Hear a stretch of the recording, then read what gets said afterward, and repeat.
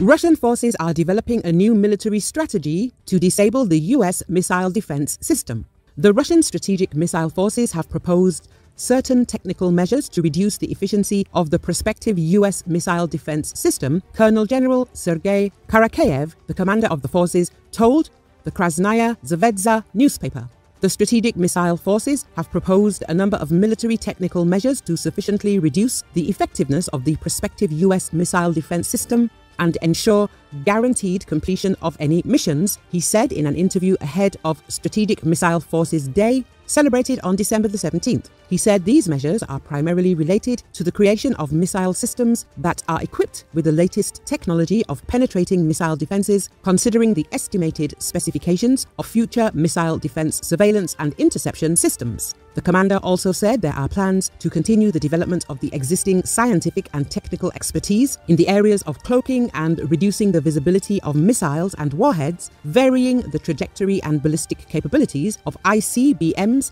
and their combat equipment. Work will also continue to build systems delivering fire and functional damage on information, intelligence, control, and strike capabilities of the missile defense system that is being created.